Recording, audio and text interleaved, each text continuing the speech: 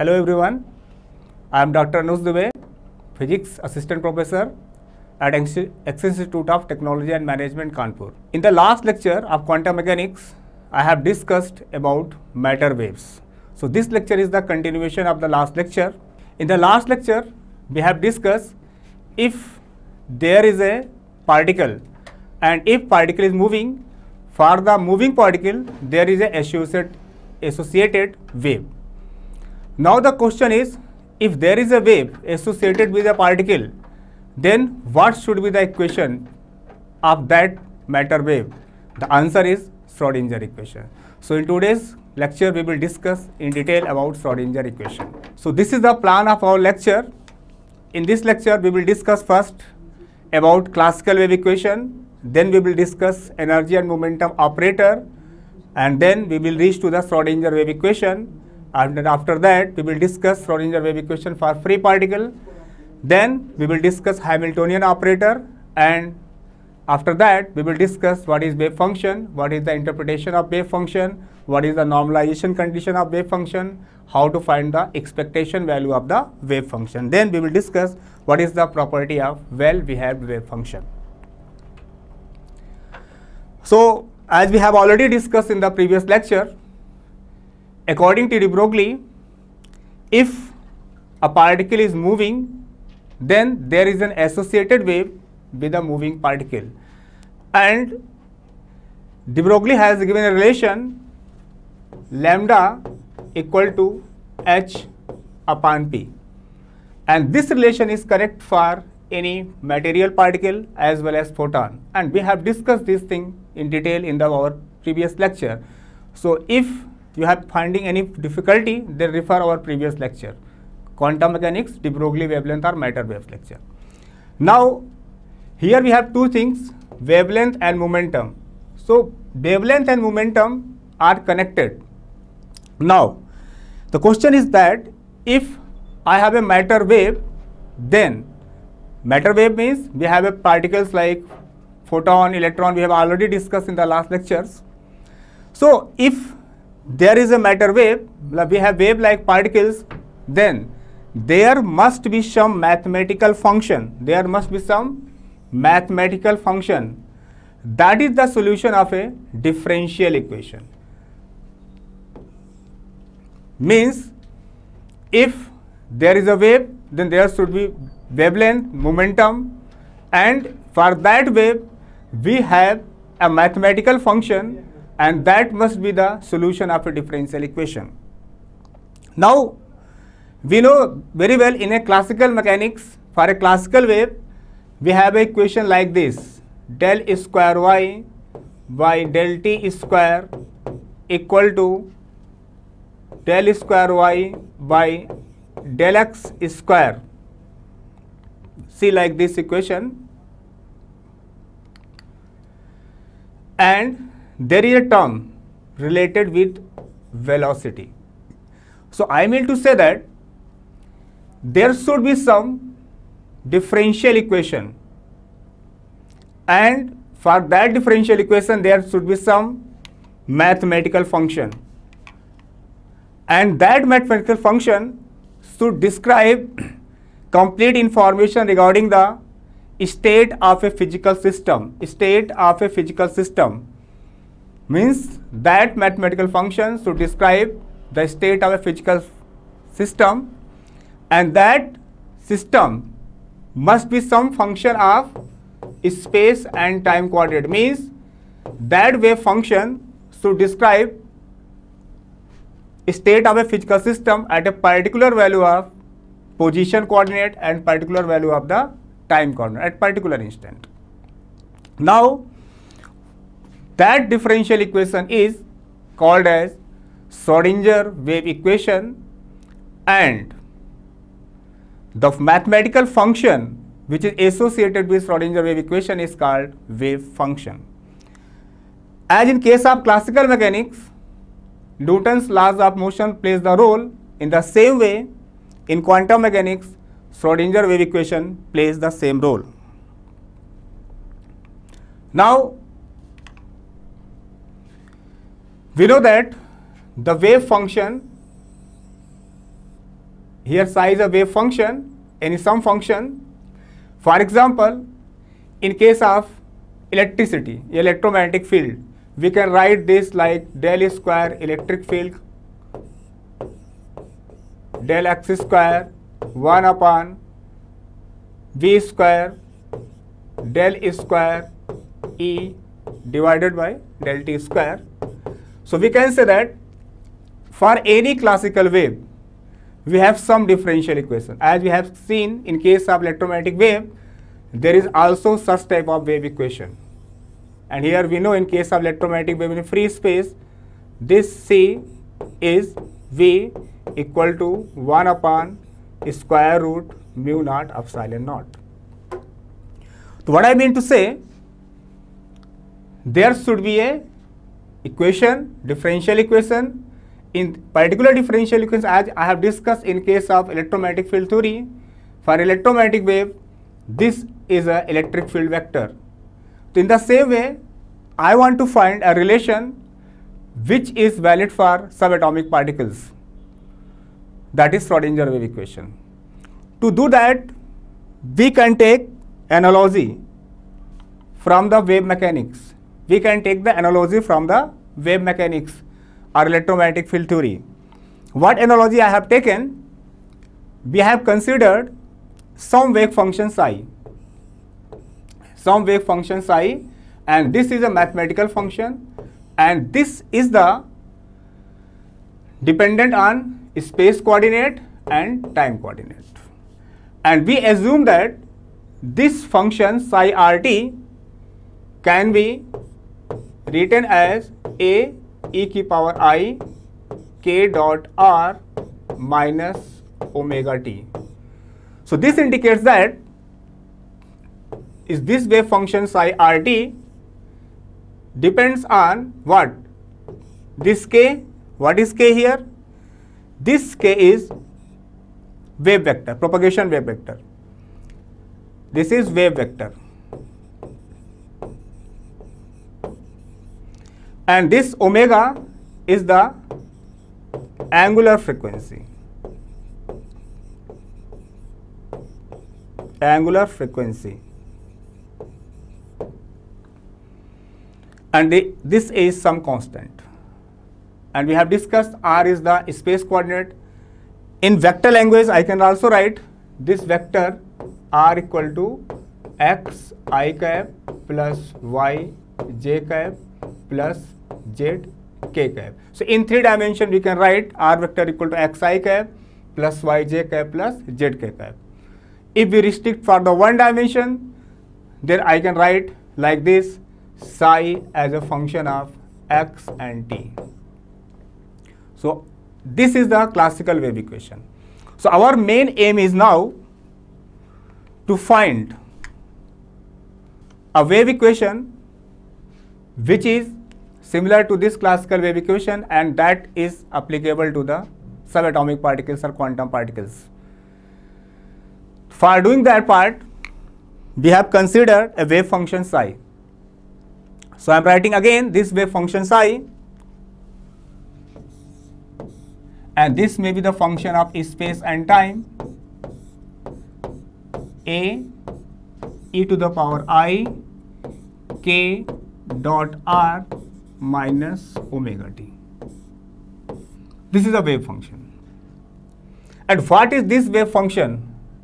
At present, I cannot answer this, but after few time you will understand what is this wave function. In this lecture, we will discuss what is this wave function. But at the moment, I have just considered a function, mathematical function, and this mathematical function gives some differential equation. It must satisfy some differential equation. So now, for deriving the Schrodinger wave equation, I required some mathematical techniques. So we know k is equal to 2 pi by lambda and omega equal to 2 pi into frequency. So we can convert, we can find a relation because as we know E equal to h into nu. So we can write this in h cut form into omega. h cut is reduced Planck constant. Here we are using h cut equal to h upon 2 pi. So we should aware about the notations. So in the same way, we can write lambda, we can write P equal to h cut into k. This P is the linear momentum, k is the propagation vector. So now we have two relation. We will use this these two relation E equal to h cut omega and P equal to h cut k. This is the well-known relation. And we will also use some operator, differential operator, del operator, which is equal to I derivative by derivative x partial derivative j derivative by derivative y plus k derivative by derivative z. So when we do the calculation in three dimension, we will use this three dimensional del operator. This is del operator. We required it many times during derivation. This is the three dimensional vector operator. But if we restrict ourselves for one dimension, then we can say this part is removed. So only the part is del operator, del by del x. This is the partial derivative. Why the we are using the partial derivative? Because if our wave function is function of r and t both, for one dimension I can say this is the function of x and t both. If anything is the function of different things, then we will use partial derivative in of instead of doing total derivative. So this is the required things. So now we want to discuss about energy operator. So we know E equal to h cut omega and this omega also written as E upon h cut. Here h cut is reduced Planck constant we have discussed already. And we assume a wave function this. Now, for simplicity of the calculation, let us consider one dimension. Particle is moving in a particular one dimension. Then what happens?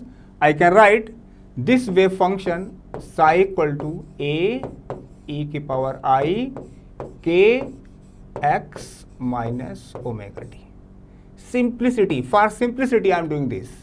Now I can say this psi, this mathematical function psi is function of x and t.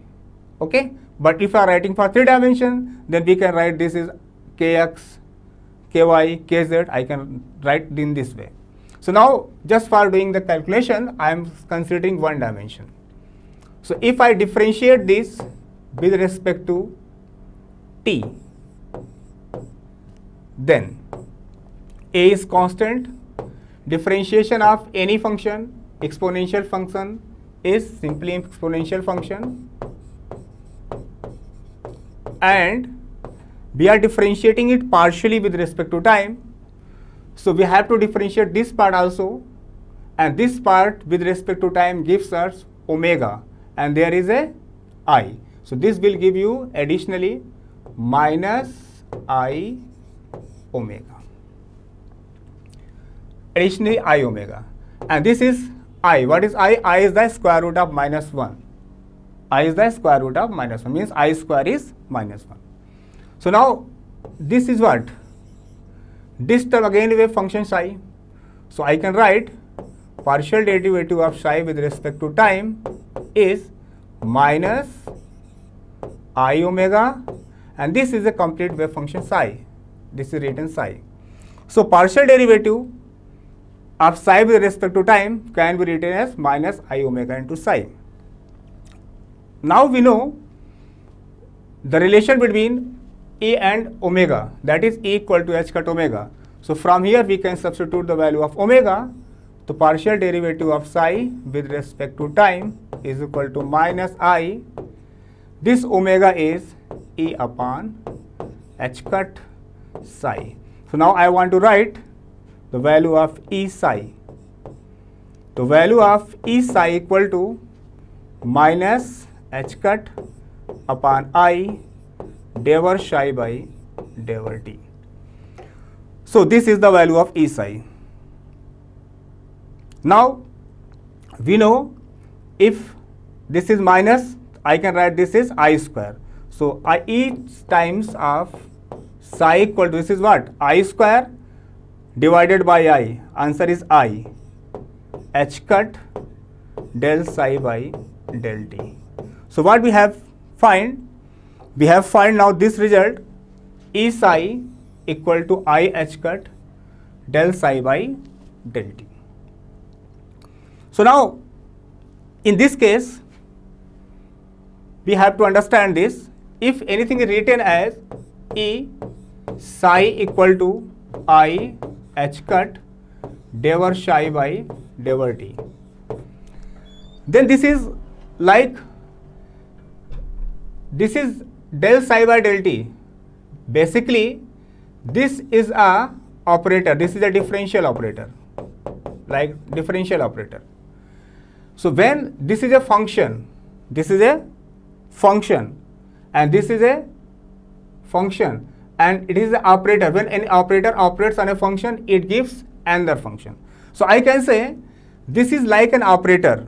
So in the sense i can write e cap. E cap indicates that operator. So this is i h cut del by del t. So means i have an operator.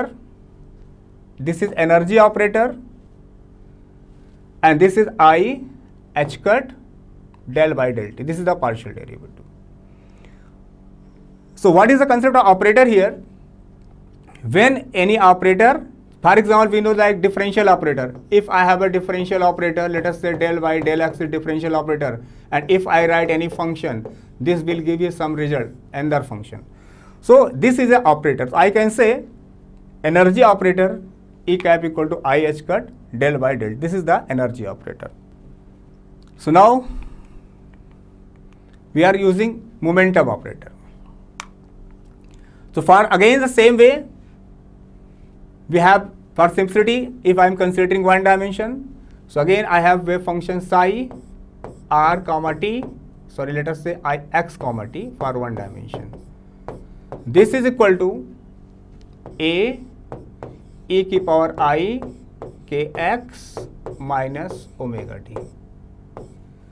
And now I want to differentiate it with respect to x in one dimension. Then what will happen?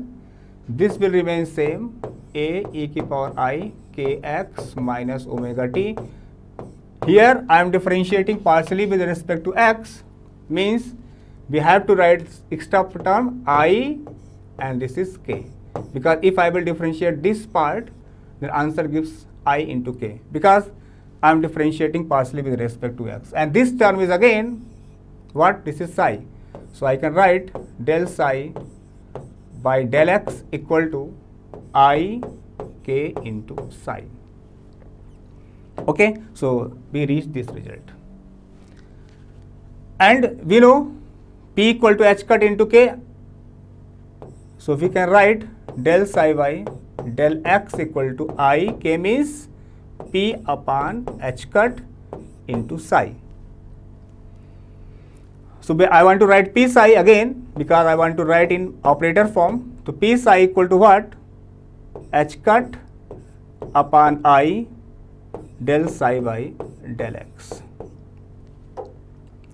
So we have written and we know if I multiply with i numerator and denominator this becomes i square minus 1 and there is a, an extra i. So this gives you p psi equal to minus i h cut del y del x.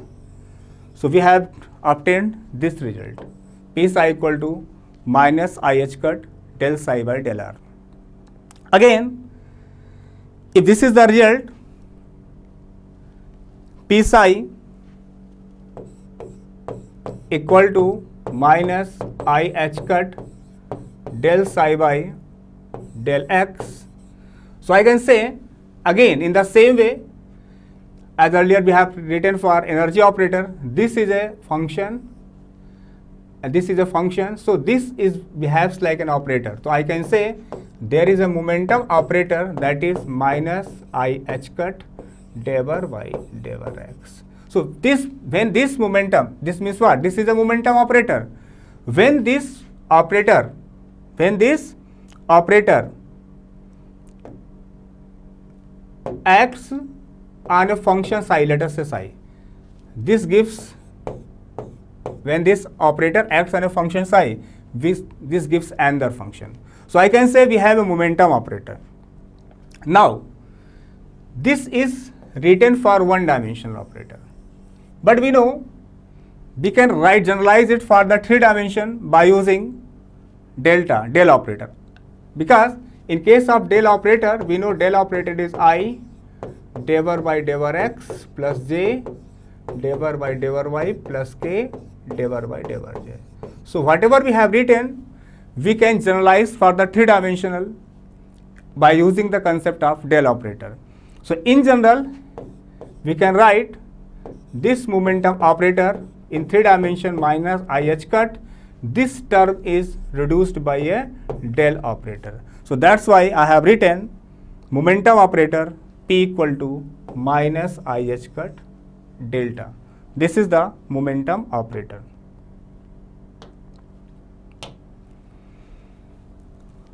Now we can also do the same thing for momentum square. What we can do, if I will differentiate twice again, we have derived already del psi by del x. So del psi by del x equal to we have obtained i k into psi. If I will differentiate it again, then what will happen? Second derivative of psi with respect to x, I will get again ik, again ik, ik into ik, and finally we will get a psi. Because ik and then del psi by del x. The value of del psi by del x is again ik. So I will multiply ik. So this is what del square psi by del x square this i square is minus 1 k square into psi okay and k is what p upon h cut so this can be written as del square psi by del x square equal to minus p square upon h cut square into psi Again we can say this is a operator function and it is oper operating. Then again there is a psi. So we can say there is like what is p square? p square is minus h cut square del square psi by del x square. So we can also write this p square as an operator, square of the momentum operator. So finally, we have another operator which is also required that is p square operator. So I can write p square equal to we have written p square operator. Okay, so the p square is a another operator that is also related with the function. So this is just required to obtain Schrodinger wave equation. So now we want to find Schrodinger wave equation. To find the Schrodinger wave equation, we know if I have a particle, if the particle is free, free particle means there is no any external force is acting on that particle, then particle is free. If particle is not free, then particle has some potential energy. So total energy is the sum of kinetic energy plus potential energy. So I have written the term E that is the total energy associated with the particle and this is the kinetic energy P square by 2m and this is the sum potential. And if particle is free means there is no potential. Particle is not interacting with any particle nearby this. Then if no force is present then this term becomes 0 if particle is free and we have also obtained energy operator and momentum operator.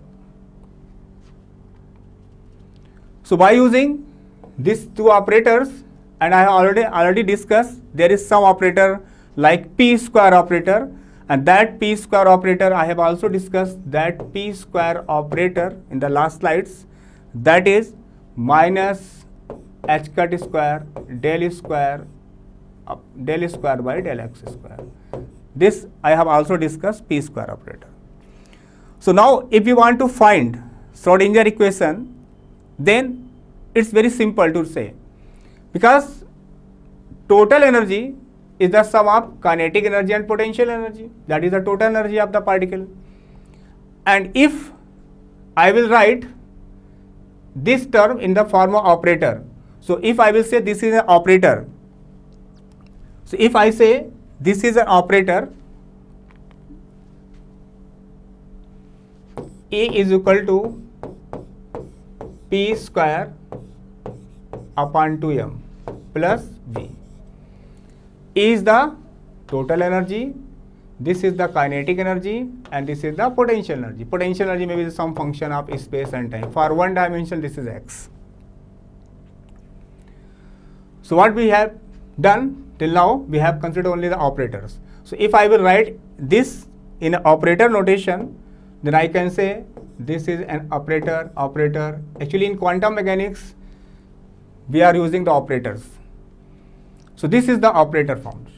And if this is the operator and if this is the operator, this can operate on any function psi, then this can be written as p square upon 2m into psi plus b operator xt into psi.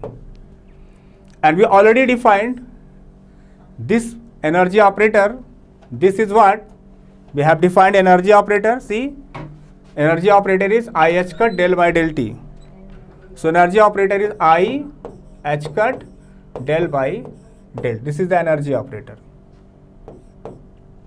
And momentum operator we have written minus h cut square del square upon del t square and this operates on a function and divided by 2m plus this potential and some function psi.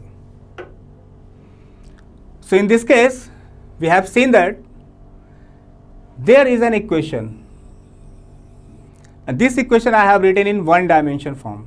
Sir, this is one dimension, this should be psi, one dimension form. And this is somehow related with the Schrodinger wave equation. Okay. So you have seen here this equation minus h cut square upon 2m del square psi by del x square plus b some function of space and time. This is the this part whatever is written this part is the this equation one dimensional. This is one dimensional because I am considering one dimension x. One dimensional time dependent Schrodinger equation because there is a time because derivative of time. Psi is the derivative of time. One dimensional time dependent Schrodinger equation. Now this equation if I write this not in the operator form I can say this term this term I h cut del by del t. This is an operator and this is also known as energy operator. So if I will say this is E psi, so this equation can be written in this way h cut square upon two m del square psi by del x square plus V x psi equal to E psi this is one dimensional time independent Schrodinger equation so I whatever I have written that is for one dimension and we know with the help we can convert these equations in three dimension also by simply using del operator तो del operator del square operator is second derivative plus del square upon del y square del square upon del z square. This is the Laplacian operator. We can say simply this del square is del dot del Laplacian operator and we know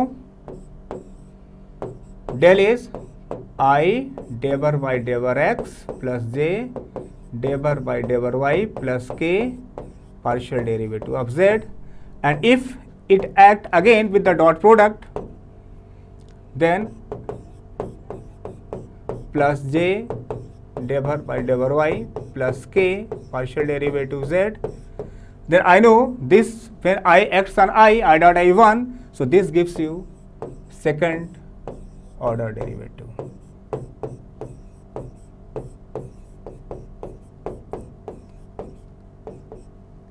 Del square by del z square. So this now it is clear we can using this operator del square this is Laplacian operator Laplacian so with the help of this operator we can convert one dimensional Schrodinger wave equation in three dimensional Schrodinger wave equation. So now whatever the equation we have written, this equation we have written in one dimension because time is there. So, I can say this is time dependent Schrodinger equation in one dimension.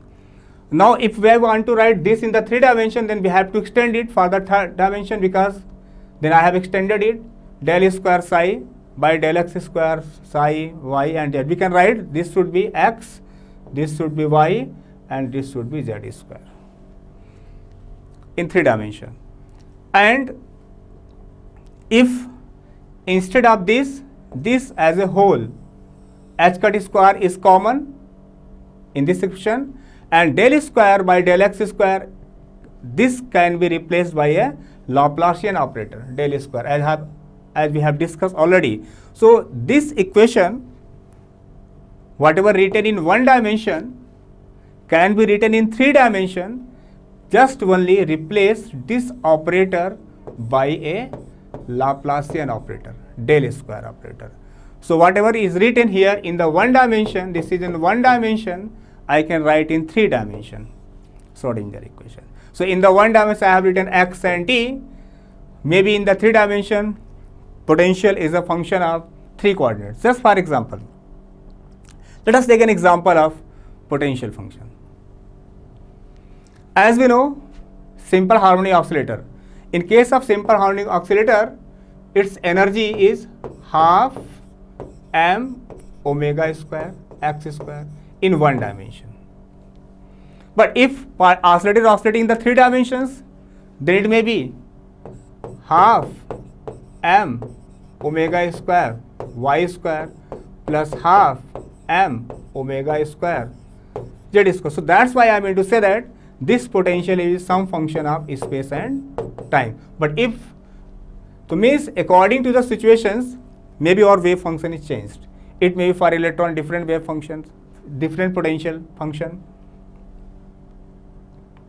So now we want to write Schrodinger wave equation in 1D and 3D again in the independent, time independent form.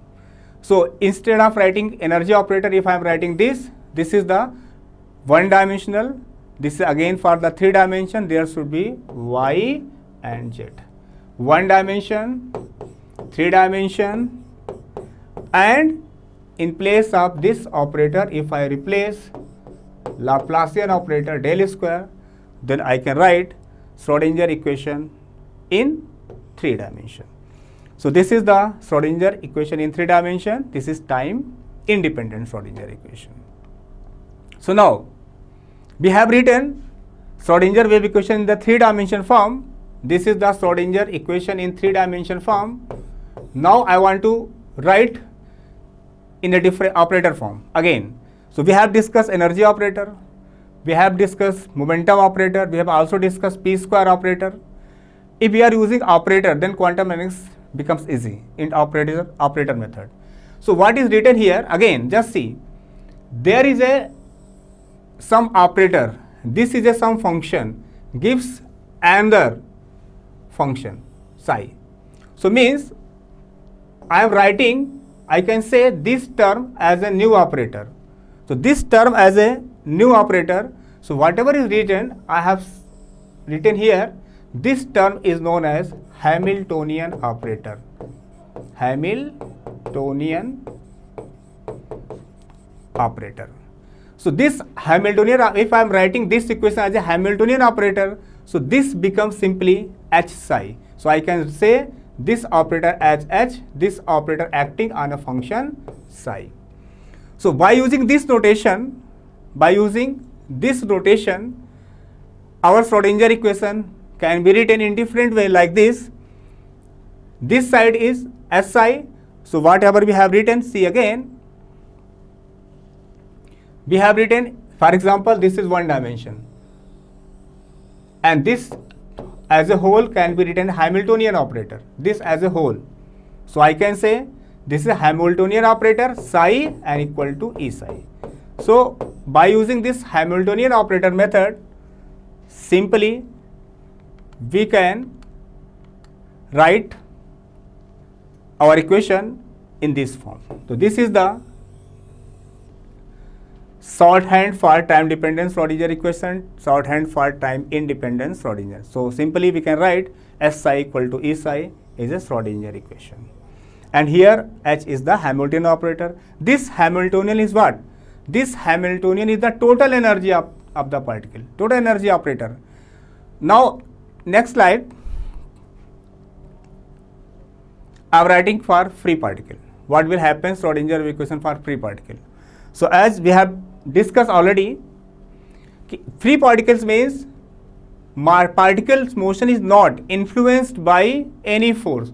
Particles motion is not influenced by any force. Then particle is said to be free particle.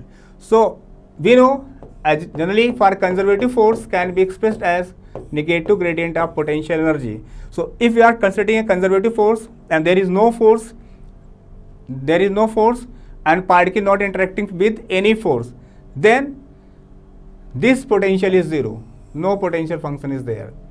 So our Schrodinger equation, which were written in earlier form, see here, in this form, this terms become 0. This terms become completely, this term becomes 0. This term becomes 0. So when we then we get Schrodinger equation in this form. This is for free particle. Schrodinger wave equation for free particle, only potential terms vanishes. And now, finally, what is the physically meaning, physical significance of this Schrodinger equation? So we have seen in this Schrodinger equation, again, there is a term h square upon 2m del square. This h square upon 2m del square, this is related with some operator, momentum operator because del तो यहाँ पे हम लिख सकते हैं ये term देखा हमने और ये हमारा जो टर्म पोटेंशियल एनर्जी ये हमारा टर्म टोटल एनर्जी है। So this term h square upon two m this is del square this term is actually अगर बात करें तो ये हमारा काइनेटिक एनर्जी ऑपरेटर है दिस और ये टर्म हमारा पोटेंशियल एनर्जी ऑपरेटर है and that term is the total energy so I can say here in this equation this term with psi if I will write psi here psi here then this is the kinetic energy of the particle this is the potential energy of the particle this is the total energy of the particle so this is the meaning of Schrodinger wave equation So now we have written Schrodinger wave equation, but many times we are using psi. Psi is a wave function, but what is the meaning of psi? What is the role of psi here in quantum mechanics? Now we have some questions regarding the psi. Is psi measurable quantity? Can we measure the psi? We have some questions what precisely psi describes and what feature of particle is related to the wave function psi.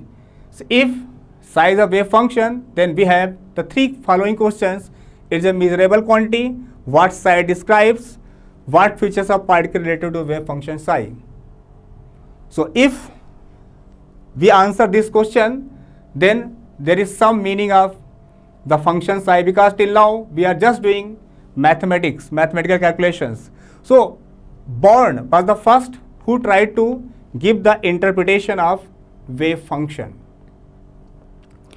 What Born interpreted according to Born, psi is a actually psi has a no meaning. As we understand, psi in the expression of psi, suppose psi is a e की power i k x minus omega t. This is psi. So psi has a some complex number and complex number has no meaning. So what Born has given idea, according to Born, if B will take psi and its complex conjugate, simply if I will say a complex number, just for example psi equal to a plus ib, if this is a complex number and let us say psi star means complex conjugate, it becomes a minus ib. If we will say psi psi star, then this is a square plus b square. Now this is a meaningful result. Then we can say if we will take psi psi star, complex conjugate of psi is the psi star.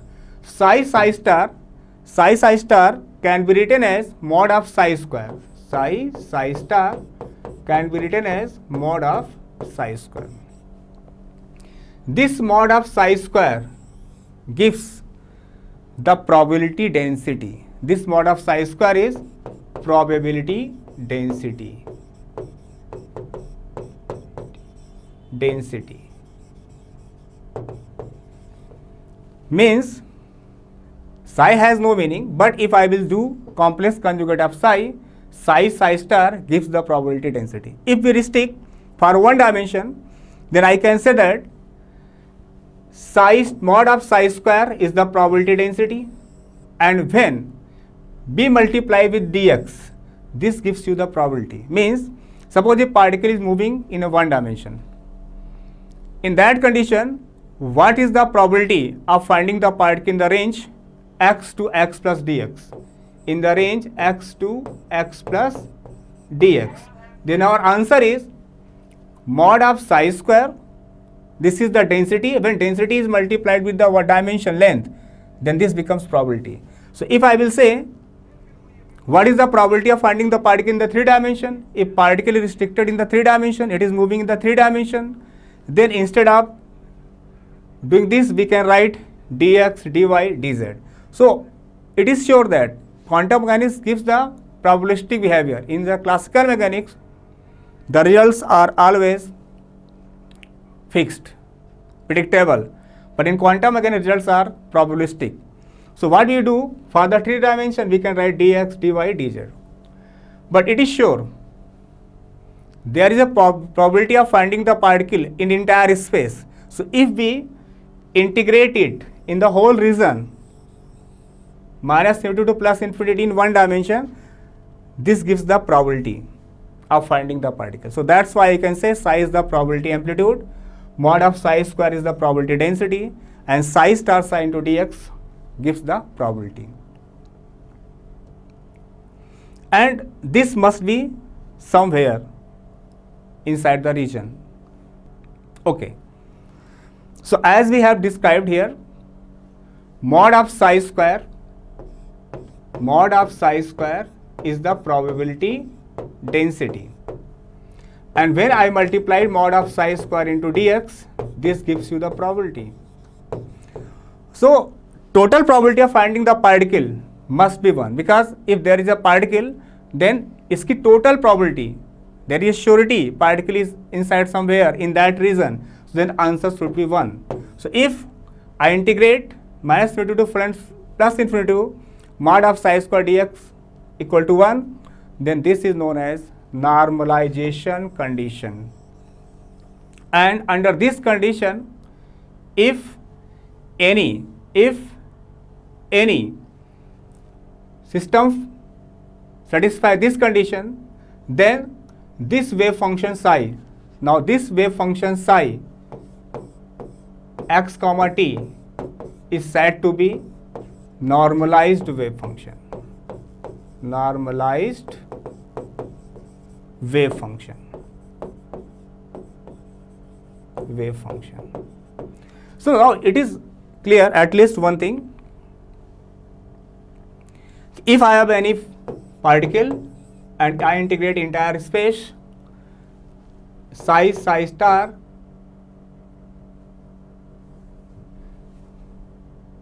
minus infinity to plus infinity psi psi star in one dimension let us say dx or you can also write this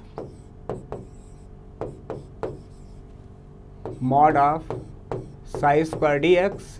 This is the probability of finding the particle in the range x to x plus dx but now if I integrate with this entire space this is the total probability now this probability should be 1 according to normalization condition. Well, particle is sure to find in the entire space, entire region. Then this wave function psi is normalized.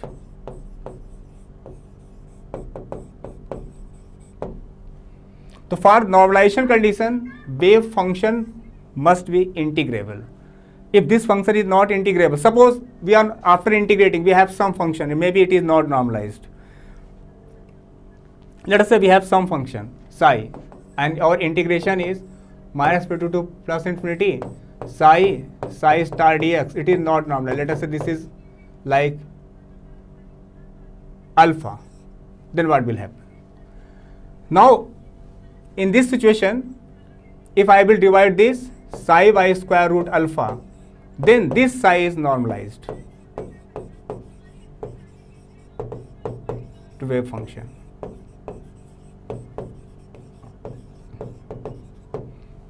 So, we can say the normalization condition is minus infinity to plus infinity mod of psi square dx equal to 1. Now,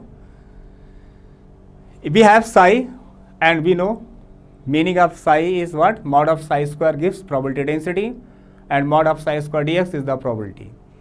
And in quantum mechanics, if we know wave function psi and if we want to find the expectation value of any function, to find the expectation value of any function, it's simply just write x because we want to write expectation value of function x. x mod of psi square into dx and within the range we have to do because it is given in the problem in which range we want to integrate it. And now this is the expectation value or average value of the function. In quantum mechanics, we need average values of a physical system. That's why the expectation value is very important to understand quantum mechanics. We can find expectation value of position, we can find the expectation value of momentum, any other we can also find some other expectation values. So now we know psi is a wave function. When this psi has some meaning, now I want to say what is well behaved wave function. If I have a psi, when psi is well behaved or what is the boundary conditions for psi, then अगर हमारा psi, if psi is solution of Schrodinger wave equation, solution of then it must satisfy certain criteria. It must satisfy certain criteria. What the criteria? Psi wave function must be single valued. Wave function must be single valued. Wave function must be normalized. We have also discussed normalization condition. Wave function must be continuous and the slope of the wave function, the derivative of the psi like this must also continuous. But except we cannot do this condition except at the point where potential is infinite. Hope in today's lecture we tried to obtain Schrodinger equation. We have also discussed some operators and after that we have some ideas of Hamiltonian operator, Schrodinger time dependent independent wave equation. Then we have discussed normalization condition, probability, expectation values and what is the well-behaved wave function. Thank you for today's lecture.